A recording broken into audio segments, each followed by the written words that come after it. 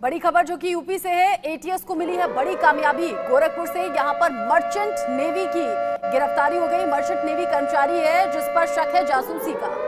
राम सिंह नाम इसका बताया जा रहा है। पाकिस्तानी महिला को खुफिया जानकारियाँ देता था आईएनएस विक्रांत। आईएनएस विक्रमादित्य की फ़ोटो भी इसने शेयर की थी। न सिर्फ़ फ़ोटो बल्कि कई ज़रूरी जानकारी शेयर की गई। गोरखपुर का ये रहने वाला राम सिंह जो कि मर्चेंट नेवी कर्मचारी है और जानकारी ऐसी है कि ये मेंटेनेंस का काम करता था। एटीएस को ऐसी जानकारी मिली, ऐसा शक था और ऐसे सबूत हाथ लगे, जिसमें जासूसी की जानकारी सामने आई और इसी जासूसी के आधार पर जब सबूत हाथ लगे तो राम सिंह की गिरफ्तारी अब हो गई है। कई बड़े राज खुलने वाले हैं। गोरखपुर के रमुआपुर में मौजूद हूँ मैं और यहाँ पर राम सिंह को अचानक शाम में एटीएस की टीम लखनऊ से आती है और पूछताछ करने के बाद तकरीबन छः बजे उसे अपने साथ लेकर लखनऊ रवाना हो जाती है।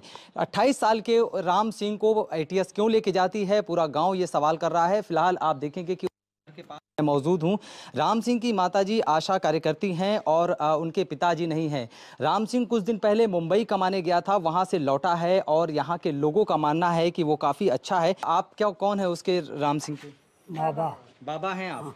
राम सिंह को आप बाबा हैं आप बहुत अच्छे से जान रहे होंगे बचपन से। कैसा लड़का था किस तरह से बातचीत करता बहुत बहुत सही लड़का है पूरे गाँव के लोग से पूछिए। बहुत सही बहुत सही लड़का बहुत। आ दो पुलिस आए आ एक साद, सादे ड्रेस में थे। वो बैठा कर उसको ले चला गया और उसका मोबाइल भी निकाल कर ले लिए। और ले गए थाने पर।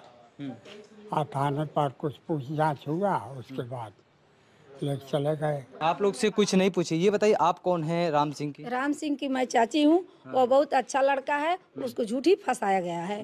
वह वह थी यहाँ पर खाना उना बनाता था।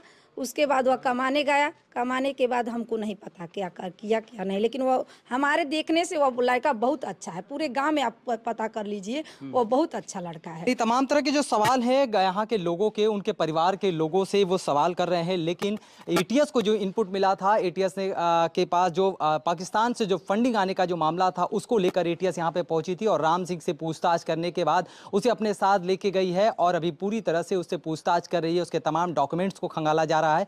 फ़िलहाल एटीएस की जाँच तक राम सिंह उनके पास ही है और जब जाँच पूरी होगी तब जा करके ये पूरा मामला सामने आएगा कि पाकिस्तान से फंडिंग और उसके कनेक्शन का ये पूरा मामला क्या है। Sushil Kumar India News Gorakhpur.